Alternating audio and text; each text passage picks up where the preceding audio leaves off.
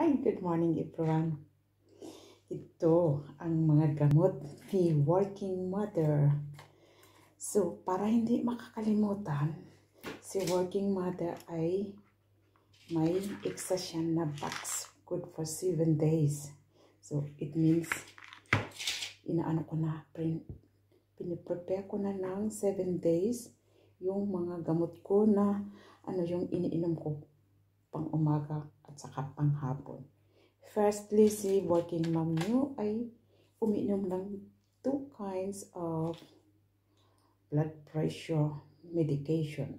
So, isa sa umaga at isa sa panghapon para hindi makakalimutan ni Mother Mom kasi si Mother Mom ay maraming mga sidelines na work. Kaya, inaano namin ng doktor namin na may isang box ako na nakasulat Monday, Tuesday, Wednesday, Thursday, Friday, Saturday, and Sunday. Ito naman ay morning, lunchtime, at saka dinner time. So, kung ako'y naman umiinom ng pang umaga at saka pang hapon, so doon ko ilalagay yung mga gamot ko. So, it means malalaman ko kung yung Monday na inom ko ba o hindi. Kasi pag hindi ko naiinom, ibig sabihin nandoon pa siya sa loob. Kaya maganda din itong idea na ito. Kaya nga, ihahanda ko na kasi naubos na yung the whole week na ano, rotation ng ano ko, pag prepare. So, para naman hindi manghihina si mother mom, siya ay umiinom din ng mga supplements. Ito ay magnesium. Ito ay maganda kasi kung minsan nag nagka-cramp yung muscles ko. Kaya, iniinom ko siya sa umaga. So, gagawin natin yan for the whole week. Ilalagay ko siya from Monday to Sunday. Ito namang pang blood pressure ko maintenance. Yun. Umpisahan din natin sa Monday. Same as usual for 7 days. At since ako'y allergic during springtime at summertime, may gamot din ako ng para sa allergy ng pollen. Dito grabe pag springtime, pag sabay-sabay namumulaklak yung mga puno ng kahoy, yung mga bulaklak, yung mga kung ano-anong klasing mga tanim dyan. Kasi before sila nag uh, ano ng dahon, ay nag uh, ano muna sila nag yung bang namumulaklak muna. Kaya nga kung yung balkon namin, yung terrace ay punong-puno ng napaka fine na alikabok. Yun ay alikabok ng pollen ng mga different trees. Kaya February nag-uumpisa na yung mga different nuts trees nag-uumpisa na silang namumulaklak. Maski malamig sila ay nag-aano na, yung mga pollen ay lumilipad na. Kaya ang nagiging resulta pag ikaw ay allergy, ayan, nangangati yung ilong mo, yung mata, at saka tumutulo yung sipon. Tapos sabay pa naman na atching ng atching. Kung nakakahiya kasi ngayon katulad ng corona time, ang iba ay nag-iisip, ako, baka may corona na yan kasi atching ng atching. Pero kung minsan sinasabi ko, huwag kayong matakot, ito'y ano lang, yung allergy lang ng mga, ng mga pollen. At saka, maliban pa doon, meron din akong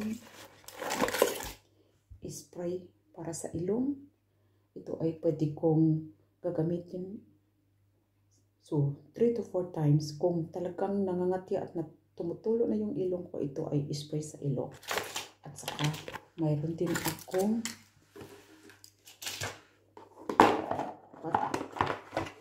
nangangati yung mata ko. Ito din. Kaya, before springtime, nakaready na ako nito. Prepare na kasi pag late mo na uumpisan paggamit ng mga precautions na ito, ay naku, ang tagal bago na hinto yung mga kati o kung ano-ano dyan.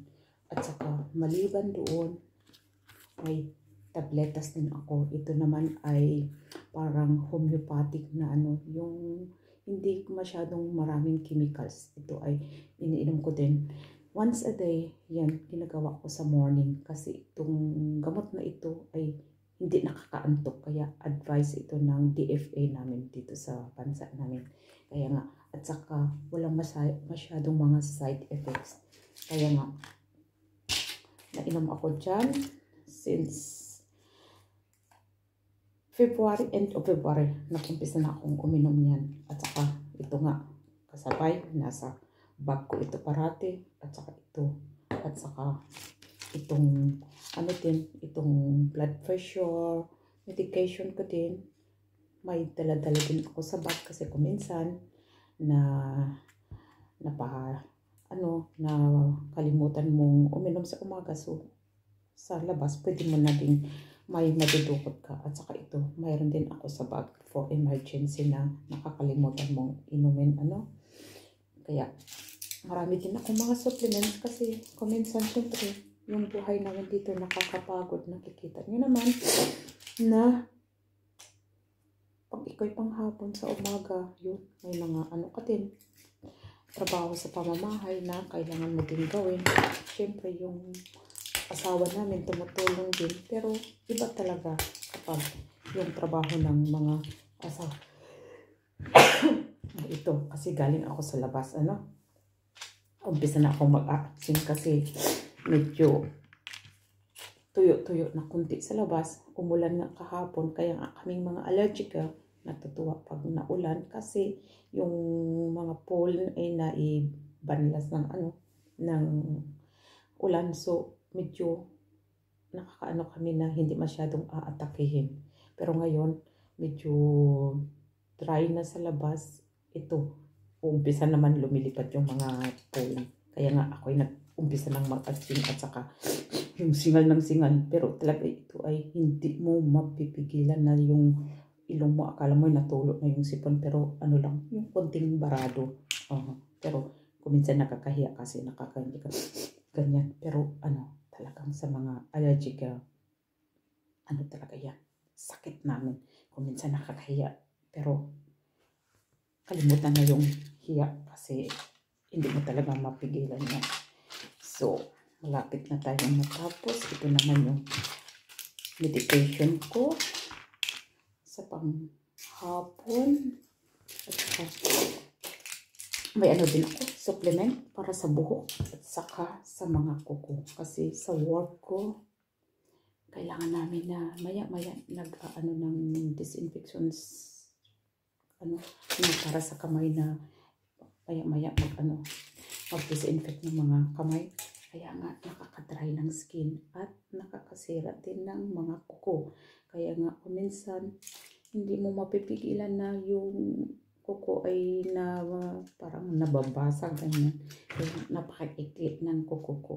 At saka ito, needs ko itong supplement na ito. Kasi kuminsan sa pag ikaw dito matanda na, yun, kailangan mo din ng konting supplement na para yung buhok mo ay huwag manglipa. Yung pang nanglalagas ng kusa. Kaya nakakatulong din siya konti. Kaya kailangan na din pag tayo na sa katandaan na kailangan na din natin ng konting supplement. Ano? Okay guys. Ito lang muna.